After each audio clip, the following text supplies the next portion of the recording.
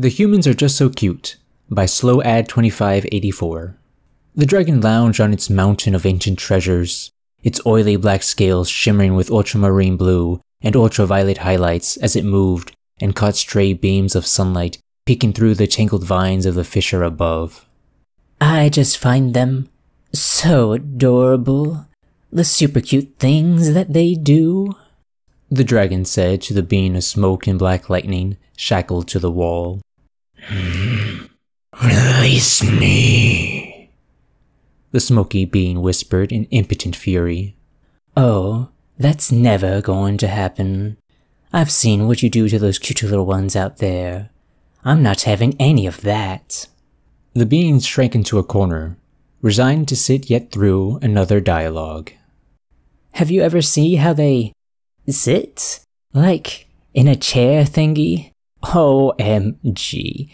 So cute how they can fold up like that. And when they tuck their little feet underneath, oh. Its talons clenched, gouging deep into the solid mound of gold coins as its neck shivered in delight. So adorable. Or, or when I fly over their town square, how all their little mouths open up into little O's as they all face and track my flight over. All those tiny little circles. Oh, and when I swoop to a hover over the crowd, the wind from my wing beats whipping their hair and clothes back behind them. Oh, I just love how they look up with those little faces, those delicate little eyelids trying to cover their eyes, but they still all just want to see. Oh, OMG, those are the cutest little faces. Now, don't tell anyone, but sometimes I use my magic to sneak into their homes while they are asleep. To tickle their hair, just to see how they swipe and slap at their heads while asleep. Oh, I can never get enough of that. The being of smoke and black lightning stirred. Hmm. You walk among them. Well, sometimes. It's really the only way to see them, being their clumsy, dorky selves. Such precious little chonkers. Have you ever seen them try to pass each other in a hallway, and they step aside the wrong way over and over again? Oh, that just makes me want to crush them in lovey hugs. How they try so hard, yet fail. Yes, I have seen that. That is actually pretty adorable. Oh, and the way their tummies grumble when they haven't eaten in a while.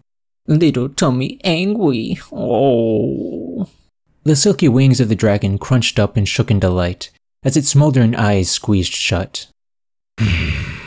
Or the way their arms shiver and shake as they scramble to a pool of water after being held prisoner without water for days. Uh, that's horrible. The dragon's head reared back in appalled horror. And you wonder why you're held captive here, with a human village mere miles away. Oh, but you reminded me of one time this knight in shiny armor was riding a horse, so very proud of himself, and his horse knocked him off with a low tree branch. The way he lay there like a turtle on his back, unable to get himself up. The cutest part was how his compatriots didn't help, but instead pointed and laughed at his misfortune. when they do the Bernie dance. The what? You know, the running round in circles, arms flailing, when they're all on fire. The burn e dance? That was you? All joy had left the dragon's eyes. The SMR movements replaced with a furious, predatory, liquid, draconic prowl.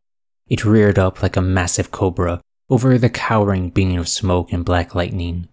Neon green acid dripped from its teeth as it hissed, sputtering its scalding fury wherever the drops fell, melting even the stone floor with terrifying ease. I swore if I ever found the monster that did that.